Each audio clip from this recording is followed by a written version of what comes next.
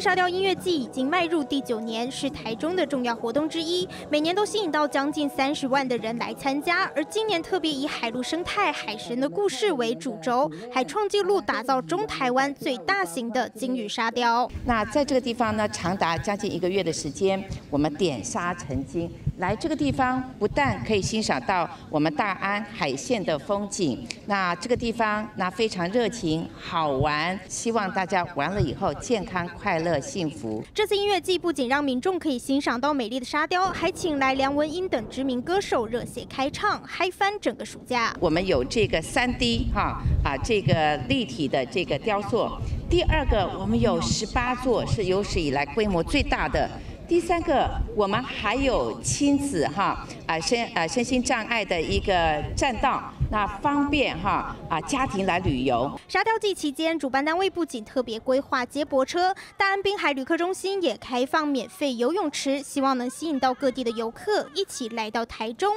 享受夏天的海滩假期。记者陈思远、林云婷台中报道。